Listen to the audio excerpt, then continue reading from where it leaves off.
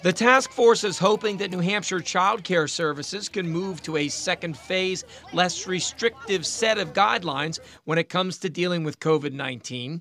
One significant change would be class size, something that has been a problem for these businesses since the start of the pandemic. The previous uh, guideline as far as group size was 10, as we all know, and uh, a recommendation of getting that up to 15 uh, per classroom.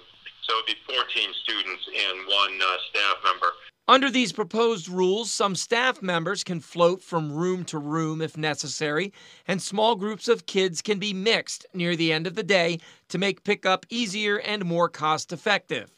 There were also discussions about the restaurant industry, where some see a need to return to full operation soon. 50% is not going to cut it for a lot of these folks. So we are legitimately talking about, you know, working towards trying to help retain these businesses, I think we've got to make, take another uh, another step here. The task force also heard today from public health officials who say while encouraging numbers support relaxing guidelines, this is far from over. There is always some degree of risk. We are in a pandemic, but we are making decisions to mitigate that risk.